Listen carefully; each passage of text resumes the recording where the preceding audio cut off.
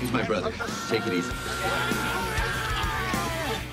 I play one of the deputies alongside Val, who plays the character of Todd, which is Ethan's brother in the film. So uh, my character is uh, the cop who's slightly neurotic. Thinks he's a little cooler than what he is.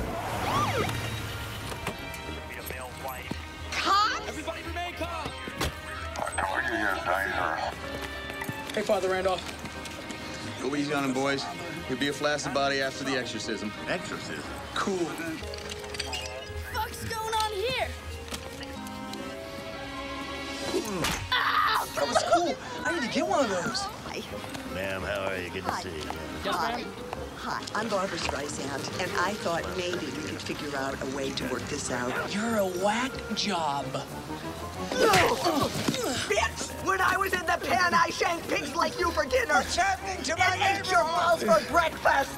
That man is a cunt. Take this. Turn over. I'll show you what to do with it. Ah. Get in your ass. That's wrong. Is that a cucumber? You know It's a nasty way to go down. You do know you're not Barbara Streisand, don't you, freak? You okay? You ready? What? She's a Looney It's fucking hard, man. Well, you sure showed her. You're not Barbara Streisand.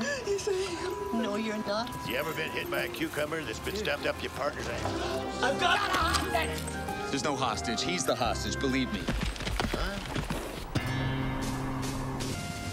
Guns a-blazing. It's a BB gun. Trust me. You sure? Shoot, you can take an knife with one of those. Shut the fuck up! You know what? Shut the fuck up! No more I'm set right now! Hold your fire Unless he morphs into a hellhound or something. When do we anticipate that happening, sir?